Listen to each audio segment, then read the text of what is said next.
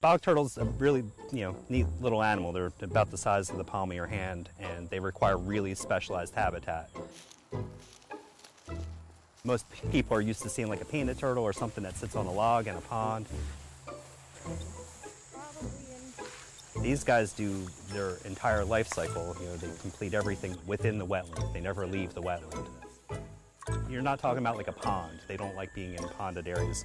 You go in your you know, boots and it's mucky maybe up to your ankles or something. But these guys are just a little black turtle with big bright orange blazes on the sides of the head.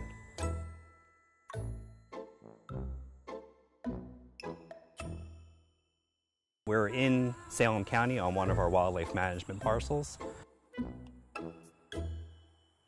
As we have less and less of these habitats available for them throughout the state, it's you know, important to, to focus on them and make them as suitable for them as we can.